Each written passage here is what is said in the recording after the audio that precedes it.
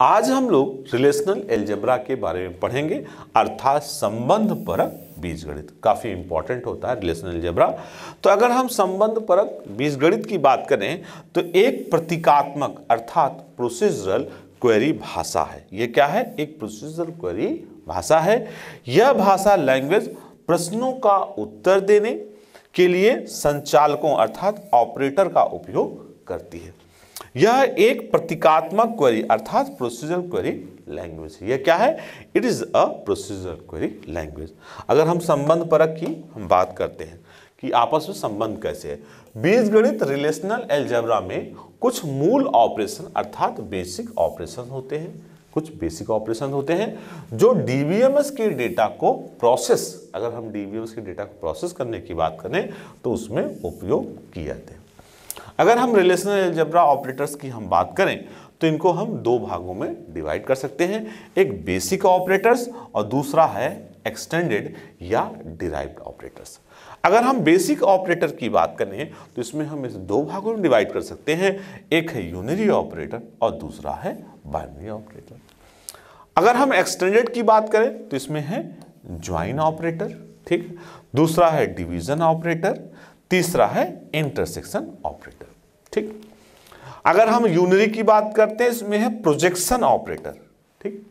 Projection operator दूसरा है selection operator और तीसरा है रिनेम ऑपरेटर अगर हम बाइनरी की बात करें तो इसमें है एक है यूनरी ऑपरेटर दूसरा है क्रॉस प्रोडक्ट और तीसरा है माइनस अर्थात सेट डिफरेंस ऑपरेटर आइए हम आगे बात करते हैं।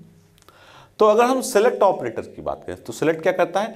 इसके द्वारा किसी दी गई शर्त को पूरा करने के लिए टपल को चयनित किया जाता है। मतलब हम टपल को चयनित करते हैं और इसमें सिग्मा नोटेशन से दर्शाते हैं। इसे किसे? सिग्मा से दर्शाया जाता है। आगे अगर हम प्रोजेक्ट ऑपरेटर की बात करें तो प्रोजेक्ट ऑपरेशन इस ऑपरेशन के द्वारा तालिका अर्थात टेबल से कुछ कॉलम्स को, कुछ कॉलम्स को क्या करते हैं? चयनित किया जाता है तथा शेष को छोड़ दिया जाता है। मतलब कुछ को चयनित करते हैं बाकी को छोड़ देते हैं। इसे पाई द्वारा दर्शाया जाता है। इसे किससे? पाई द्वारा दर्शाते हैं। आगे हम बात करते हैं सेट ऑपरेशन की। अगर हम सेट ऑपरेशन की बात करें तो इसे यूनियन ऑपरेशन के भी कहा जाता है। इसे यूनियन ऑपरेशन भी कहा जाता है। इसे सेट थ्योरी की तरह यू से दर्शाया जाता है। इसे सेट थ्योरी की तरह यू से हम दर्शाते हैं। सेट ऑपरेशन निम्न प्रकार की होते हैं। आइए अब हम बात करते हैं सेट ऑपरेशन की। तो अगर हम सेट की बात करें, इसमें एक है यूनियन ऑपरेशन तो यूनियन मतलब नाम ही बताया, जोड़ने के बारे में।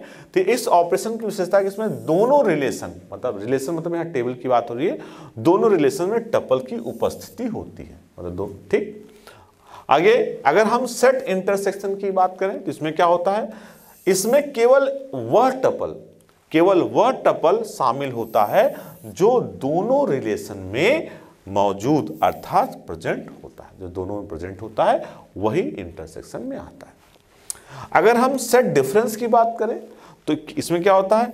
इस ऑपरेटर इस ऑपरेशन की विशेषता यह है कि टपल एक रिलेशन में तो उपस्थित होता है परंतु दूसरे रिलेशन में नहीं। अगर हम डिफरेंस की बात करें तो एक में तो उपस्थित होगा, दूसरे में नहीं उपस्थित होगा।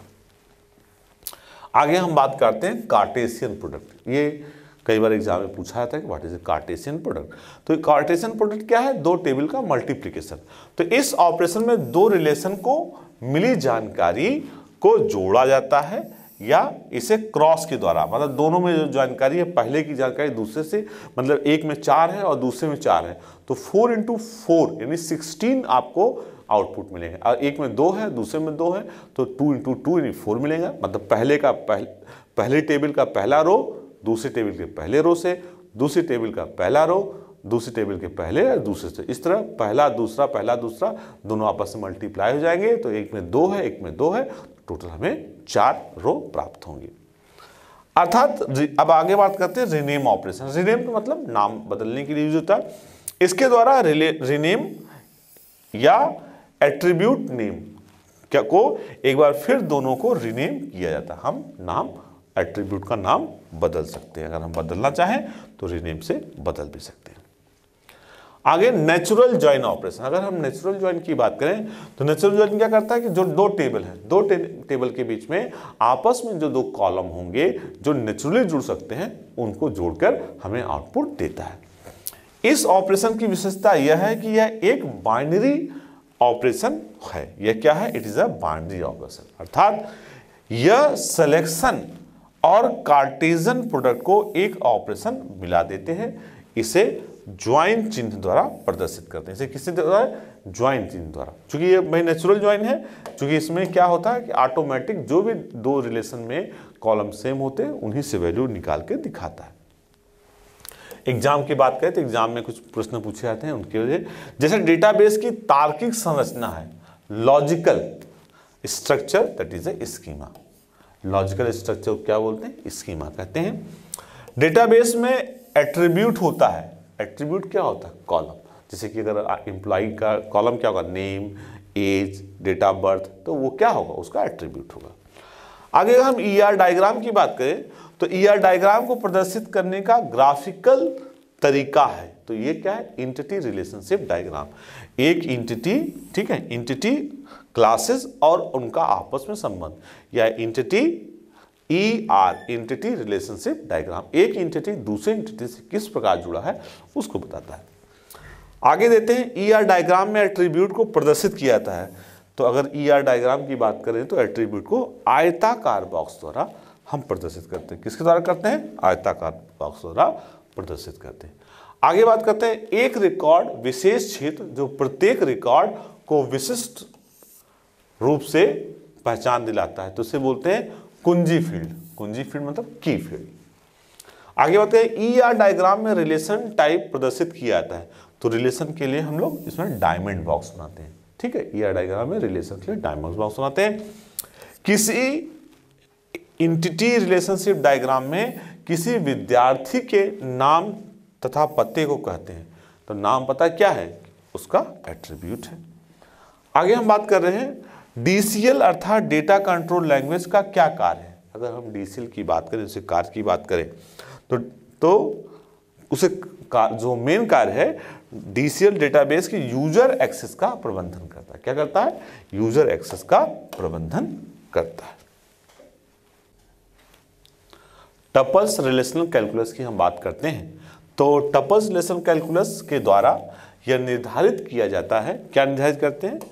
यह निर्धारित किया जाता है कि जो हम रिट्रीव किया जाएगा, क्या हम रिट्रीव कर सकते हैं? रिलेशनल कैलकुलेशन अर्थात नॉन प्रोसीजर लैंग्वेज कहते हैं। मतलब इससे एक तरह से ये नॉन प्रोसीजर लैंग्वेज है।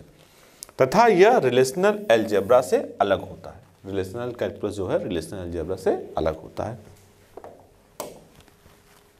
आगे देखते हैं। डोमेन रिलेशन कैलकुलस तो ये क्या है? Domain relation calculus tuple relation calculus tuple relation calculus से भिन्न होता है। ये अगर हम बात करें डोमेन रिलेशन कैलकुलस की तो वो उससे डिफरेंट होता है, क्योंकि इसमें प्रयुक्त होने वाले वेरिएबल्स अलग प्रकार के होते हैं।